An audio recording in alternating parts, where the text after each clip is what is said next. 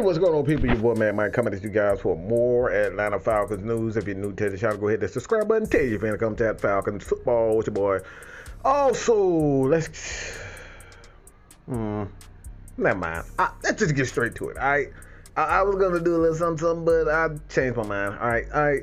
Let's get straight to this, man. Um, the news out of the NFL and this some NFC South things, and I think everybody's heard up to this point. Cam Newton um, is back. All right, he is back with the Carolina Panthers. I think this is probably the dumbest shit I've ever seen in my life. I'm just gonna be honest.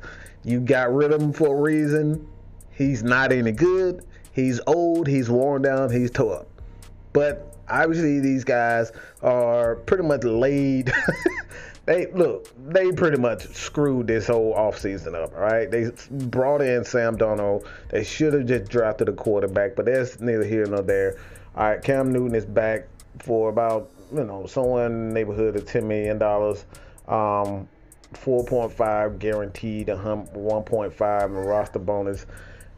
It's just a damn mess. I, am just gonna be honest. This is stupid. It's a mess, and uh, the news out of the NFC. All right, I think this is probably the biggest one. Odell Beckham is signing a one-year deal with the Rams. Um, finalized. It is finalized, and I think this is a very good deal for the Rams. Um, they have a pretty good offense at this point. They have a pretty good team at this point. And I'm just going to be honest. If you don't get this shit done now, Sean McVay, your ass deserves to be fired. All right, you've been to the Super Bowl once before. Um, you should have been. Um, you should have won it to begin with, and you end up screwing it up too. Um, so at this point, if you bring in a guy like Odell Beckham and you still don't get it done after you traded Jared Goff, you traded for uh, Matthew Stafford, and you don't get it done, you deserve. All right, you deserve to be fired. Now, I'm just gonna keep it real. Um, I don't understand why he continues to get, uh, why he would be able to get a, um, you know, a new, uh, another chance if he doesn't get this done this time. All right, uh, some news, some injury news. Um, Dallas Cowboys, Randy Gregory will miss multiple weeks with the calf injury. Um, I think this is very good news, obviously, for the Atlanta Falcons. You don't have to worry about, uh, you know, another pass rusher. Uh, I think everybody knows DeMarcus Lawrence is out. Tank Lawrence is out. Don't have to worry about him as well. Um, injuries for the Atlanta Falcons tight end. His uh, tight end Lee Smith is back. Kendall Sheffield hamstring missed a second straight day of practice. Um, Thursday, Steven Means, uh, Jonathan B- uh, Bullard were limited um, for the second straight day.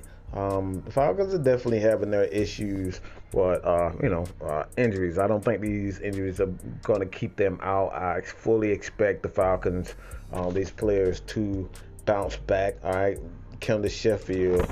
I'm just going to be honest. Um, uh, there have been. I, I don't know if he's going to I, just don't know if he's gonna stay with this team. Uh, it's just been a mess.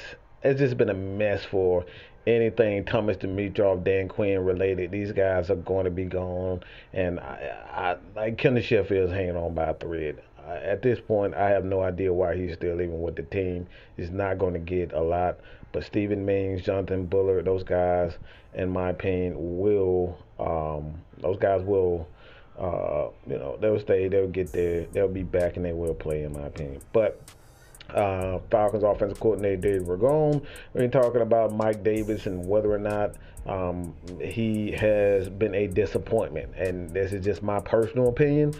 Uh, up to this point, um, I think he has been a disappointment as far as a runner. Um, I, I expected much more out of this guy than what we're getting. He's getting a guy that get one yard here, two yards here.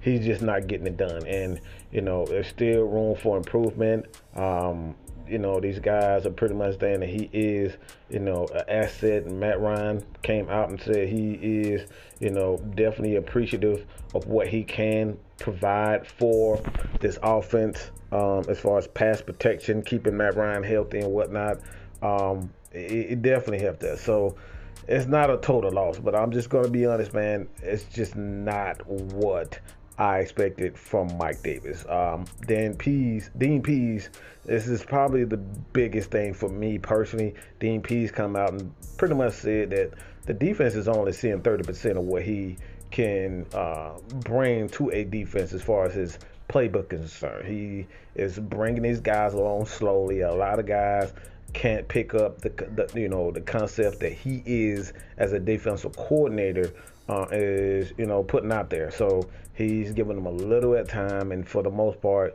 uh, the Falcons are ranked 12th defensively in pass in pass defense.